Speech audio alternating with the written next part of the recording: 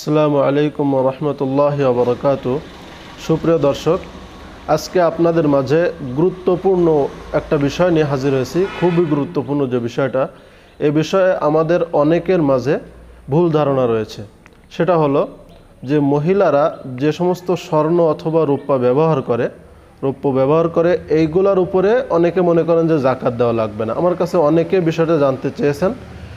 এবং বলেছেন যে অনেকে, অনেক নাকি বলছেন এটা অনেক আলেম যে সোনা রূপা যেগুলো ব্যবহারিত এগুলো জাকাত দেওয়া লাগবে না। তো কোরআন এবং হাদিস থেকে ইনশাল্লাহ কথা বলব।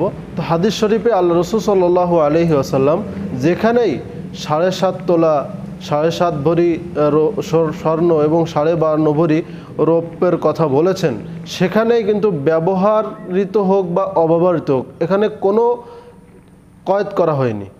যে ব্যবহৃত হলে দেওয়া লাগবে, ব্যবহৃত না হলে দেওয়া, এমন কোনো কথাই সেখানে বলা হয়নি।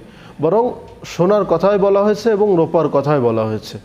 এবং অন্যান্য যে সমস্ত আয়াত আছে এবং হাদিস আছে, সেগুলো কিন্তু থেকে এটাই জানা যায় যে স্বর্ণ এবং রূপা যেগুলা ব্যবহৃত হোক বা অব্যবহৃত হোক, প্রত্যেকটারই জাকাত দেওয়া লাগবে। যদি ব্যবহৃত হয়, তাহলে জাকাত দেওয়া লাগবে না। এরকম না বিষয়টা। কেননা হাদিস শরীফে তো সাড়ে বাহান্ন তোলার কথাই মানে মুতলাকান সেখানে বলা হয়েছে। আমভাবে যে কারোর কাছে যদি সাড়ে সাত ভরি স্বর্ণ অথবা সাড়ে বাহান্ন ভরি রূপা থাকে, তাহলে তার জাকাত দিতে হবে।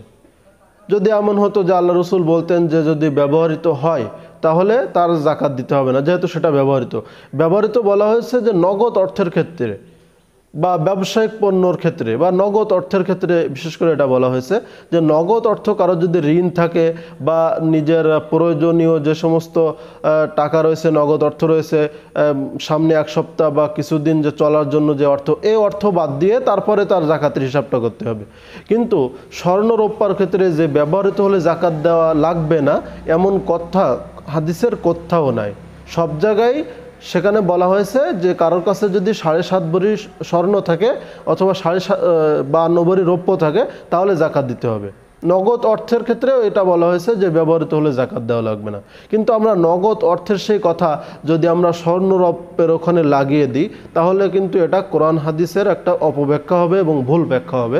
আল্লাহ রসুল আল্লাহ রসুল সাল্লাহ আলাইসাল্লাম হাদিস শরীফে স্পষ্ট করে বলেছেন যে মানকানা মুতামিদান ফাল্লাতাবাওয়া মকা আদাহু মিনান্নার যে কেউ যদি ইচ্ছাকৃতভাবে আমার উপরে কোনো একটা মিথ্যা অপবাদ দেয়, যেটা আসলে আমি বলিনি, তাহলে সে জাহান্নামকে তার আবাসস্থল করে নিল।